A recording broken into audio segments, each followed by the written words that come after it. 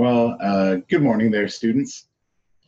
Thought I'd just record a quick update on like what's getting graded when and how how all that's working. Uh, anyway, I'm gonna share switch to my screen here so my face will get smaller. And there we go.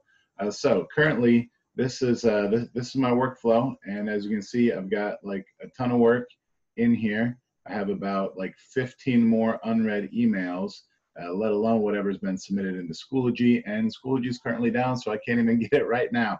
But um, I promise you an update on uh, grading tactics. So here's here's uh, the plan.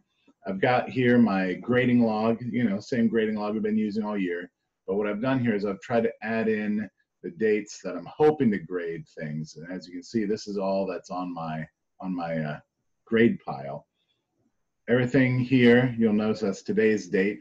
I'm going to try and grade those today. Then I went back through as best I could remember and put in the, the dates where I graded these items.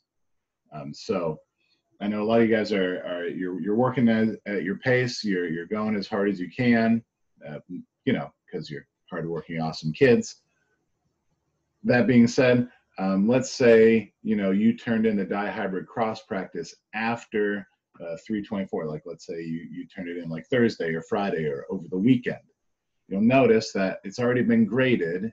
Yeah, you turned yours in, and I probably I probably got it. Usually, I've been trying to reply once I've added it to the pile. So if we scroll down here in the backlog, you'll notice I've got a new label for corrected slash late assignments or anything you've redone. So if you've turned in the dihybrid practice after 324, all you have to do is scroll down here and you'll see that it will be graded uh, pretty much last. So after everything else here has been crossed off, then I can come back. Uh, I'm, I'm trying my best. You guys are you guys are totally bearing me, which is awesome and exactly what I wanted.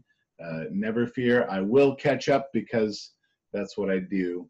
But yeah, next up will be I'm going to start it right now, grading the pedigree lab, uh, and that's on time viewing. That's today, uh, 3:30. It's 10:40 uh, in the morning.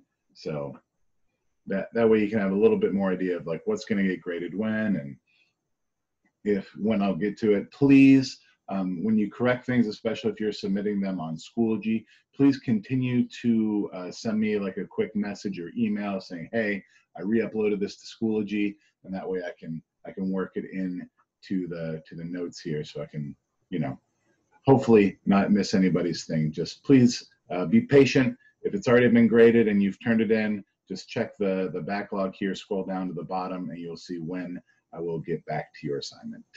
Uh, if you have any questions, as always, email, text, Google Hangouts, remind, uh, all that's good. Hit me up. Bye. Maybe.